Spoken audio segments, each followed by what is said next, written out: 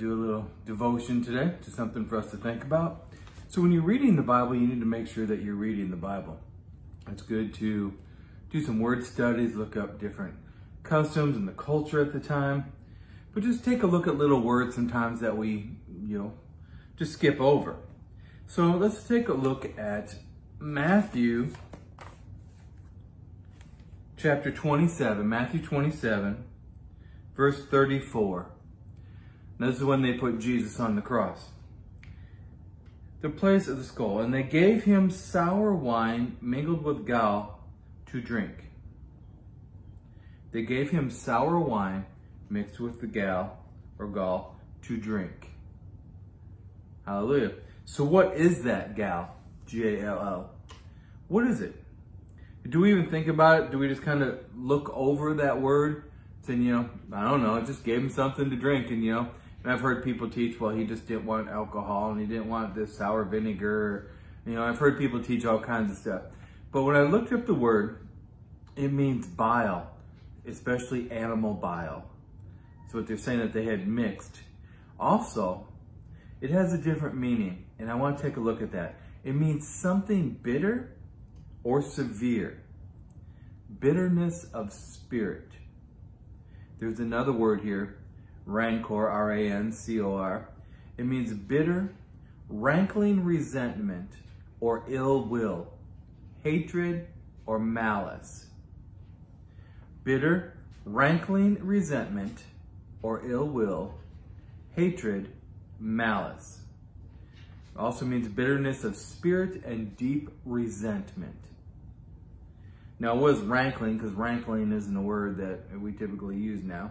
It means to continue to cause keen irritation or bitter resentment within the mind, to fester and to be painful. So when you look this up, what they had mixed with the wine here was bitter resentment, a festering. So the last thing that they tried to do to him was affect his relationship with the Father by getting him resentful, hatred, malice toward the people, looking out at the crowd saying, you know, I may have healed you. You, you got delivered. You were fed, you know, by the fish and the loaves. He may have looked at the people and said, was it even worth it? They wanted him to start to think this way.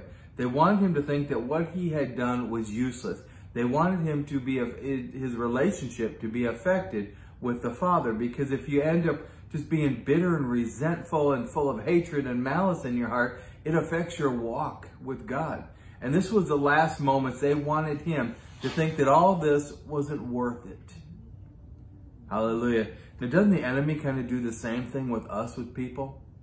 Even in ministry, you start thinking, you know, after all these years, I've ministered to all these people, and you still got some people that just like to make up lies about you. And you have these other pastors and other so-called leaders that sometimes just that get jealous of what you're doing and so they try to ruin your reputation. And you figure i've been doing this for so long. What was the point? Did i even make a difference? And it's that's not our goal is to make a difference. Our goal is to be obedient to the father. And when we do what the father wants us to do we will make a difference in people's lives. But that's not our goal. They were trying to damage that relationship between the son and the father in those last moments. Has the enemy ever done anything to try to get you resentful? Where he just wants it to fester in your mind over and over. This is what they said. This is what they did. And it's hard to let that go. You've just been given some bitter wine and gall by the enemy to try to get you to that place where it removes the joy from your life. It removes the peace from your life the joy of the Lord is our strength. So if you can take your joy, then there's weakness, there's depression, there's just tiredness all the time. Life just is no longer fun. It's just, yeah, you have to get up and do what I have to do and just go to bed at night. And there's no enjoyment of what you're doing. That is the enemy trying to affect your relationship with the Father. Hallelujah. So who is it that you have to forgive today? Who is it in your life that tries to stir this resentment up? They'll come to you and say, well, they shouldn't have talked to you that way. What are you going to do about it? Stop being a doormat. Stop being a wimp. Don't allow these people to do all that. And that may be true, that we shouldn't be a doormat. We don't need to allow people to treat us bad. But if their motivation is just to stir you up, and even once you've forgiven people, to bring it back up again so that you can be hatred, have hatred and malice in your heart again, that's not of God. Right? We need to stand up for ourselves, but we don't need to continue to hang on to those emotions and not forgive the people for what they have done. I've had to forgive many, many people.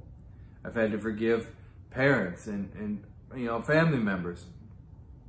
But I think the hardest was having to forgive other pastors that you had a, a good relationship with, that you trusted, and you thought, you know, that once I'm in ministry, everything's going to be rainbows and butterflies and, you know, little skittles. And you didn't realize that there's going to be pastors that had wrong motives, that wanted to use you for the gifts that you had, but then talk bad about you. And then if you ever tried to leave that ministry, then they'd really talk bad about you and even send out letters and tell people to have nothing to do with you to try to ruin your reputation. Now you have to forgive those people. Because if you don't forgive those people, it will cause that malice and that resentment in your heart and it will affect your relationship with the Father. Jesus was in the process at, on the cross of fulfilling the Old Testament covenant and then making the new covenant for us. Well, we now had access to the Father through him. We no longer had to go to other people. We could now go to the Father ourselves for forgiveness.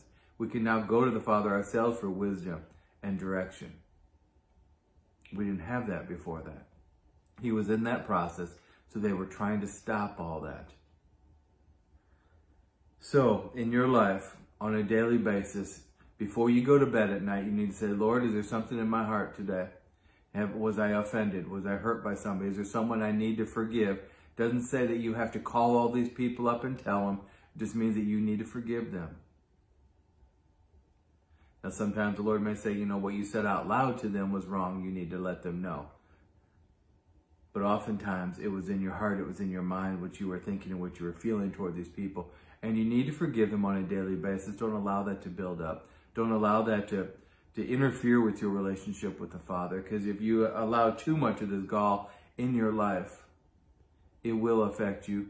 It will make you dull where you don't even really care if you go to church anymore. I'll just stay home and watch it online. I don't need to go be around these people anymore. You know, you just, you don't want to go pray for people. You don't want to do what God's called you to do because you've gotten to the place where you're now hardened of heart because you have resentment and offense in your life that you have not forgiven. It was an attack of the enemy and its purpose was to bring wine, sour wine, and gall. Hallelujah. So, hopefully this gives you something to think about. You've probably thought of some people, probably thought of some things in your life that where you just need to spend some time with God. Say, Lord, I forgive them. Do this on a daily basis. Don't allow these things to build up in your life. You need to let the hurt go on a daily basis. Hallelujah. You need to get free and stay free. Amen. Be blessed.